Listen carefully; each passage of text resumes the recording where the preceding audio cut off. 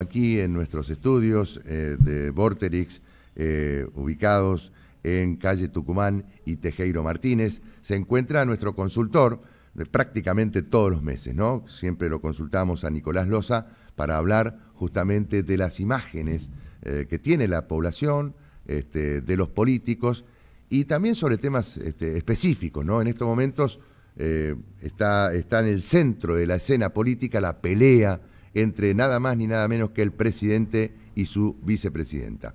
Y cómo esto repercute justamente en el electorado, cómo repercute en la población en general. Nicolás, ¿cómo va? Buen día. ¿Qué tal, Víctor? ¿Cómo estás? Buen día para vos. Bueno, ¿cómo, están, cómo se está observando esta, esta disputa, esta pelea? Eh, ¿Crees que eh, si las elecciones fueran el domingo que viene, ¿no?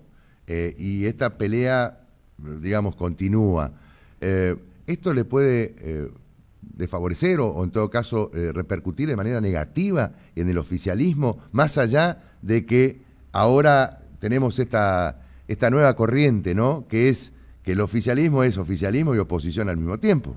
Sí, tal cual. Bueno, esto que vos decís es como un capítulo más de una novela que arrancó ya desde prácticamente mayo de 2019 con el famoso tuit de Cristina legitimando, digamos, eh, el poder del presidente, que podemos decir preside eh, lo que sería el poder puro, hablando en términos de realismo político, digamos, el poder de Cristina, una estrategia de no daba las imágenes en su momento, bueno, con el nivel de desconocimiento que tenía Alberto Fernández, pudo suplir eso y bueno, desbancar al, gobierno de ese momento de Juntos por el Cambio de Macri, que venía, digamos, de la crisis del 2008, 2018, eh, perdón, eh, muy golpeado. Eh, yo creo que esta interna lo que hace es estirar un poco más el letargo de estas peleas que no terminan nunca de ser de forma directa, sino que son a través de, a través de, interlocutores, entiéndase Cuervo Larroque, entiéndase Santiago Cafiero.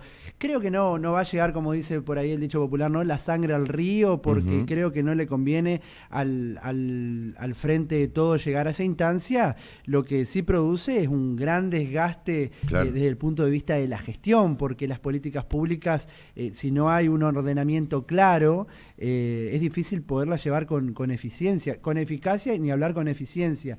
Otro punto también interesante es poder ver el origen de la legitimidad de este poder, que no es natural, digamos, no es genuino de Fernández. Bueno, entonces hay una parte del frente que se entusiasma con un despegue, una emancipación, una liberación, una independencia de Fernández que nunca se da. Eh, y bueno, y, el cristianismo que lo que nos marcan los estudios de opinión pública es que básicamente los, los votantes del Frente de Todo, 8 de cada 10, eh, consideran, digamos, de que la, la, fuerza pertenece, digamos, a, Cristina, que nada más ni nada menos que en los últimos días se ha despegado volviendo a utilizar el sello de, unidad ciudadana que fue el que utilizó en 2017 cuando jugó la senaduría por la provincia de Buenos Aires. ¿Vos crees de todos modos que no va a llegar a la ruptura? Yo creo que no, no puede haber una ruptura y en caso de que sea elegido otro eh, quien presida eh, el, frente, el frente de todos, digamos, o, la elección. Ahora Fernández dice que quiere ir por la, por la reelección. por la reelección, lo cual es legítimo en un presidente en, una, en un país, podemos decirlo, de una institucionalidad normal. Aquí tenemos un, presidencialismo con una anomalía porque está presidido el poder por alguien que no tiene el poder de forma eh, genuina. no, tiene la chequera, no puede firmar la chequera. Exactamente, y hay un, es un, momento muy convulsionado dentro, ¿no? Aparte eh, inédito en el país, ¿no? Sí, claro, por eso que te digo, al tener esta, este, este desencaje de repartos de ministerios para las diferentes facciones, recordemos que al frente eh, de todos, digamos, está compuesto por el Frente Renovador, que es el masismo, con una parte de los gobernadores, a veces eso es un poco lo que se dice, el, cristinismo duro o la cámpora, como, se, eh, que se quiere entender, y después, bueno, la parte operativa de la rosca política, podemos, eh, podemos decir que eso fue un poco el eh, currículum que por ahí le sirvió a Alberto para poder dialogar, cerrar con los... Pero no hay un, un, poder, digamos, eh, sindical podría ser, o territorial, como los gobernadores, sino que es de presidir, es decir, de llevar adelante ese consejo, podemos decir, como ese cuerpo colegiado, que, bueno, tiene sus disputas y tiene su agenda, ¿no? Eh, su agenda siempre tiene que ver con, con, temas vinculados a la justicia, vinculados, digamos, a la, a la interpelación de lo popular, bueno, lo clásico del populismo. Entonces estamos ahí en un, en un, en un, en un frente bastante convulsionado que te diría que se sostiene también porque del otro lado eh, tampoco está muy definida la cosa y también están en una situación muy pero muy similar. Eso es un poco lo que... Claro, eh, enfrente hay eh, justamente, está junto por el cambio, que tiene sus cuestiones internas no resueltas y además este, la aparición muy fuerte de una tercera vía hasta ahora, que es la de Javier Milei. Sí, eh, exactamente. el, grupo libertario, en cierto sentido, está aprovechando esta eh, esa falta de liderazgo que hay en la oposición. Sí, esa falta de liderazgo y ha podido, eh, ha sido inteligente el, equipo de Javier Milei o Javier Milei en sí en poner temas de agenda donde todos van detrás a correr de eso. En Twitter, por ejemplo, las reacciones, una de las redes más utilizadas por los periodistas y por los políticos, se puede ver claramente que hay un, un, sector de la población del electorado que está mm. buscando posiciones duras ligadas, digamos, a lo que tiene que ver con las posiciones más conservadoras y de derecha, de cómo, por ejemplo, Expert, eh, José Luis Expert, diputado nacional por provincia de Buenos Aires, ahora que estuvo en la cena de la Fundación Libertad y empezó a charlar un poco de forma más eh, amigable, podemos decir, con la gente de Juntos por el Cambio, con los liberales como López Murphy, bueno, etcétera en, Twitter empezó a perder un poco de terreno. ¿eh? Y eso es un, dato también. Un dato importante a tener en cuenta porque no está buscando ese electorado, ya está decidido a ir hacia una posición de carácter antisistémico de la política, radicalizado y extremo, que apunta justamente eh, en algunos casos a la columna vertebral de, eh, de, lo que de lo que de lo que digamos tradicionalmente ha sido la democracia en la Argentina, la defensa de derechos humanos educación pública, eh, plan, planes sociales, etcétera, ¿no? Entonces, ahí hay un sector que se le está escapando importante. claro, y ahí va a tributar mucho este mi ley, ¿no?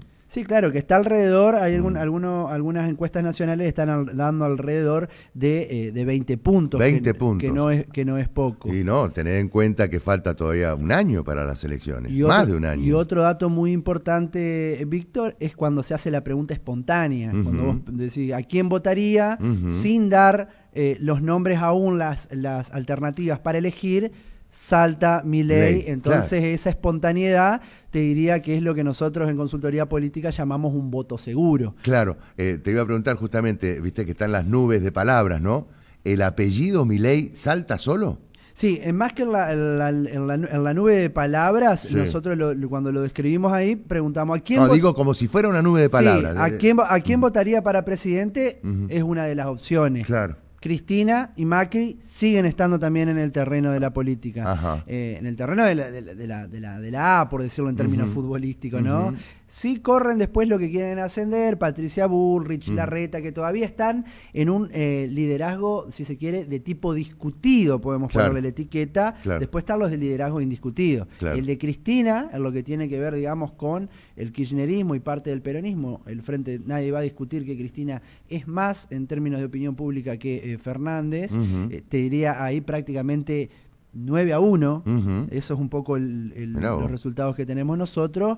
Eh, y bueno, y Javier Milei prácticamente se lleva todos los votos. Te diría, estaba en las últimas mediciones, él estaba 8 eh, a 2 con Spert. Y ahora que Spert ha tenido un acercamiento al macrismo, a Juntos, eh, ha quedado prácticamente, te diría, 9 a 1. Y creo que eso va a seguir en ascenso si, si es que Spert, digamos, logra una alianza ahí de lo que es la libertad, eh, em, Avanza Libertad, que es el frente de él, lo incorpora, creo que, que, también, digamos, va, va, va, a perder por ese lado el voto más duro, más radicalizado. Para ir cerrando, este Nicolás, si eh, el domingo también hubiera una interna este, que, eh, una, o unas pasos eh, que tenga como protagonistas en el oficialismo a Alberto Fernández y a Cristina Fernández de Kirchner, ¿quién gana? Bueno, eso no hay duda que gana Cristina Fernández de Kirchner en la, en, el, en, el, en, la interna del Frente de Todos. Y si Alberto Fernández no juega con eh, la bendición